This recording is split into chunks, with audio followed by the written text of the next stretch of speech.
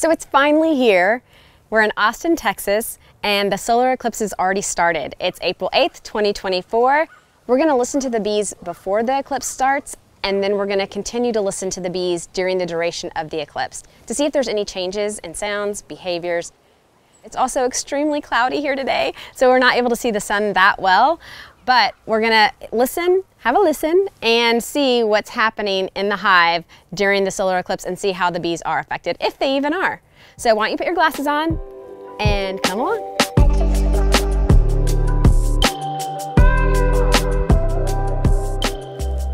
So we've opened up the hive and we're just listening and having a look at the behavior. This is before the eclipse actually starts.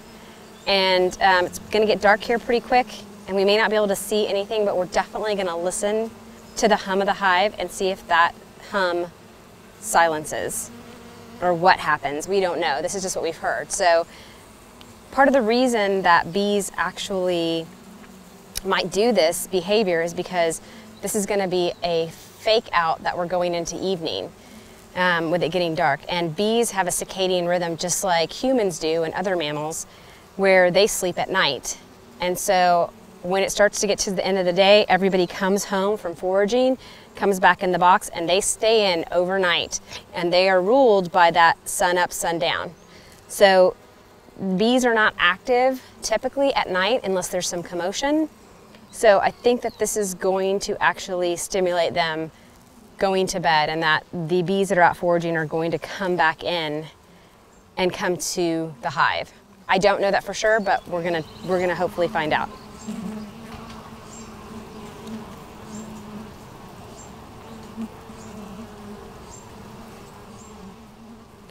This is the entrance to the hive and you can see there's activity. Bees are coming back um, and this is their foraging flights. And they were actually sitting on the edge of the hive for a while, kind of in an interesting sort of holding pattern, which I don't see a ton of, but I'm gonna show you on another hive where they're doing that. This, I opened up this hive and gave them a little bit of smoke, so it did change a little bit of their behavior. So let's look over at this hive next to this one, and you can see that they are sitting there at the edge, just kind of milling about. I think they might be thinking, oh, I'm gonna go out to forage, but it feels like evening, so I might go back in. We're about five minutes away from the totality of the eclipse and we can already feel it's getting darker. We have a very overcast, cloudy day today, but um, we can gradually feel the darkness coming. When we're just standing here observing the hive, it looks like a lot of the bees are coming home and we're just going to wait and see what happens.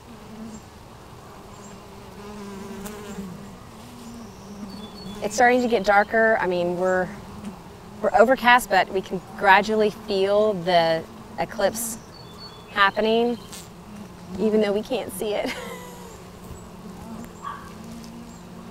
you can hear a lot of chatter. We're in our neighborhood, and you can hear a lot of people outside. There was a drone overhead earlier. So everyone's kind of out witnessing this. Our kids are in the front yard witnessing it, and so you may hear them shout. They're, they're taking it all in. We're taking it all in.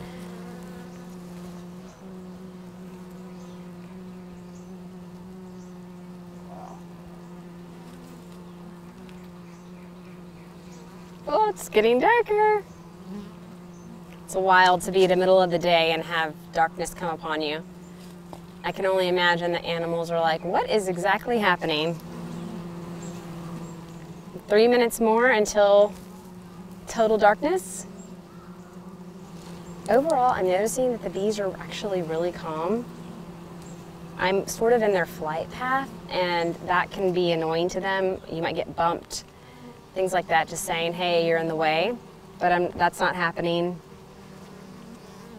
So we'll see what happens. At night, they do not like to be disturbed. They don't like artificial light on them. So we're gonna try not to use any artificial light, but we might just to see the stillness at one point. It's, I mean, it is getting darker by the moment. This is pretty wild to experience. I'm super excited that we have this opportunity.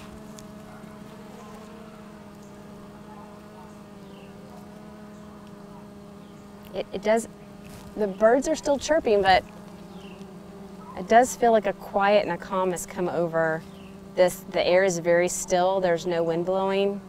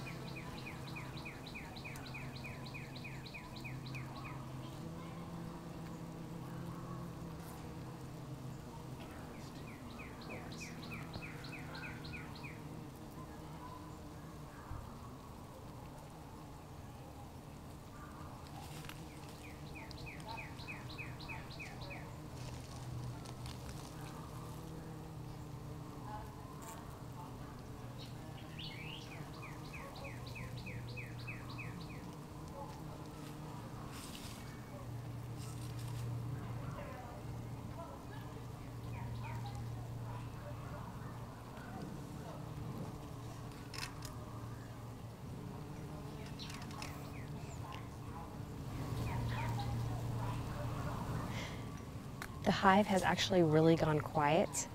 There was a humming and it sort of dwindled down. It was really interesting. We can hear our neighbor talking on her phone. um, but other than that, that, the bees are still moving. I can still see them moving around in the hive.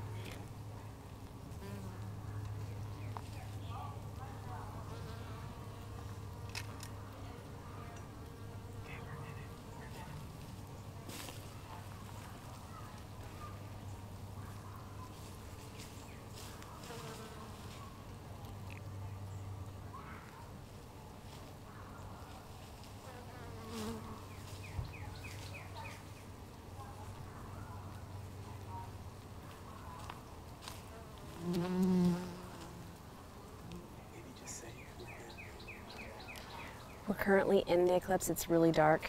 It actually feels like it's starting to lighten up already. Wow.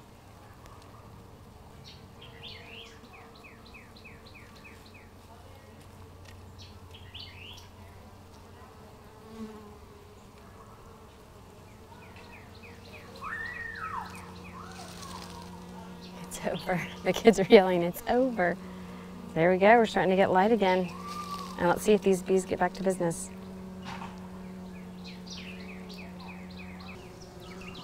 Well, the light has come back and the bees are seem like they're just straight back to business. So I think that the bees that were out and about kind of stayed in position where they were and I see some bees coming flying back in the front entrance. But they did sort of have a lull where there was a little bit of a hum and then that hum got lower and lower until there was no more hum for just a bit. And there was there was noise outside, ambient noise like the birds and some people talking and stuff like that, but the hive itself seemed to have a hush come over it, which was really interesting. Um, I didn't actually see them stand still, but there was no like wing flapping um, or anything like that, which causes that hum. So really fascinating. I'm glad that we got the opportunity to do this. It was really cool to be out here and see that darkness come over us just in the middle of the day. Um, so I feel really excited about this and um, sharing it with you.